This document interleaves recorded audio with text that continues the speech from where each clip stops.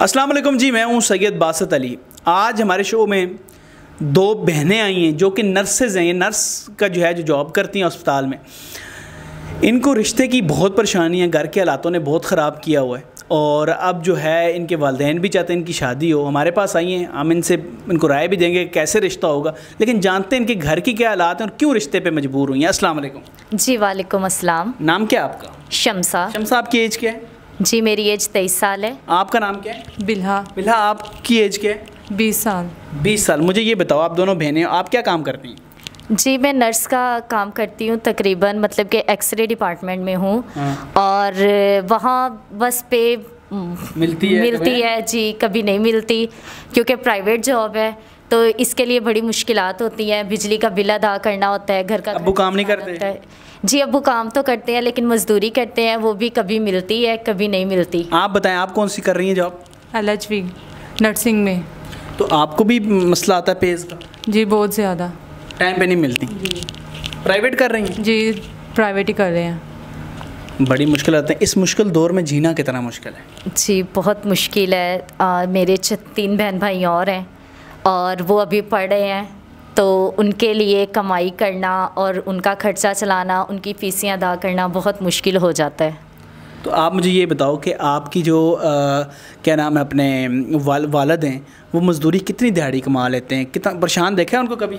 जी बहुत परेशान रहते हैं हमारे खर्चों की वजह से। दूर दूर भी जाते हैं बाइक पे जाते हैं पेट्रोल इतना महँगा है और उसके अलावा उन्हें 1200 1300 से ज़्यादा नहीं मिलता। बारह सौ तेईस जगह नहीं मिलती। नहीं। बाप को परेशान देखा है कभी? जी बहुत ज़्यादा हो जाते हैं। बाप की परेशानी देख के क्या होता है अगर बाप की बाप बताओ। बाप की परेशानी देख के यही आता है कि हम अपने माँ बाप पे बर्डन है और हमें शादी कर लेनी चाहिए। जी। आप बताओ आप जब अपने बाबा को या अपनी अम्मी को परेशान देखती हो कितना दुख होता है? जी दुख तो बहुत होता है। मामा आती है किसी के घर खाना बनाने जाती है उनकी भी पंद्रह हज़ार सत्रह हज़ार सैलरी है। तो उसमें उनका गुजारा बहुत हमारा मुश्किल हो जाता है। बिल है फीसें अदा करनी है घर में खाना है राशन वगैरह वो सब मतलब के अरेंज करना होता है। तो बहुत परेशान रहते हैं हमारी वजह से कि क्या होगा तीन चार बच्चे हैं उनको पढ़ाना भी है आगे जॉब्स भी करवानी है। और पार्ट टाइम जॉब्स तो बहुत मुश्किल है मिलती भी नहीं है ढूंढ भी रहे हैं बहन भाई। तो इसलिए सोच रहे हैं कि अब मतलब कि माँ बाप पे और बोझ ना बनूँ तो शादी करवा लूँ। तो आपको आपको रिश्ता अगर करना है तो आप किस तरह का रिश्ता चाहती हो? ज़िंदगी में हस्बैंड कैसा होना चाहिए? आ, बस इतना ही कि मेरा खर्चा उठा सके इससे ज़्यादा तो नहीं। आपकी आँखों में आँसू क्यों नज़र आ रहे हैं? आ, सर ज़ाहिरी बात है घर में परेशान हूँ तो इसलिए थोड़ा मुश्किल हो जाता है।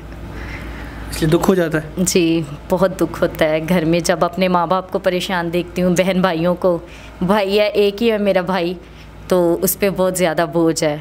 वो भी छोटा है लेकिन बहुत ज़्यादा सोचता है घर के बारे में घर के हालात के बारे में।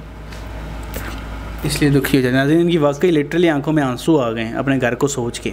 हर बंदा चाहता है उसके घर के हालात अच्छे हों। ये नौबत ना आए कि परेशानी आएँ खाने के लाले पड़ जाएँ बिल अदा करने इस मुश्किल दौर में हर चीज़ मुश बिल अदा करना कितना मुश्किल है? जी बहुत ज़्यादा मुश्किल है। पिछले महीने में हमें सिर्फ़ घर में फ्रिज है और दो पंखे चलते हैं तो चालीस हज़ार बिल आया हुआ था जिसके साथ गुज़र बसर बहुत मुश्किल हो जाता है। वो बिल पे करने में ही सारी तो सैलरी आप चाहती हो कि अब आपका रिश्ता हो? जी। आप क्या चाहती हो किस तरह का शोहर आपके लिए होना चाहिए? आप किस तरह सोचती हो ज़िंदगी में? हस्बैंड के लिए क्या ख्वाब देखा आप?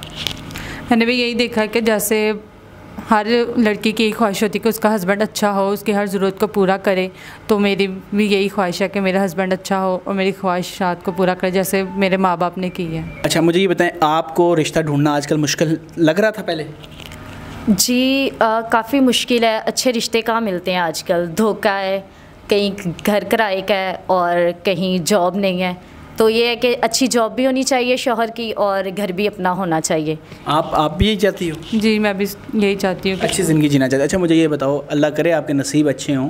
किस बेटी के नसीब अच्छे ना हम दुआ करते हैं सब बेटियों के नसीब अच्छे हों। निकाह ऐप पे ज्वाइन कर रही हैं आप? जी हमने निकाह पे आईडी बना ली है और इसीलिए आपके पास आया है ताकि अच्छा रिश्ता मिल सके। आप बताएँ आपने आईडी बना ली? जी हमने भी दोनों बहनों ने जी निकाह ऐप पर आईडी बना ली है जी और निकाह इनको आप इनकी नोटिफिकेशन में जब ये आईडी खोलेंगी इनकी नोटिफिकेशन में इनको ढेर रिश्ते आएँगे लड़कों के।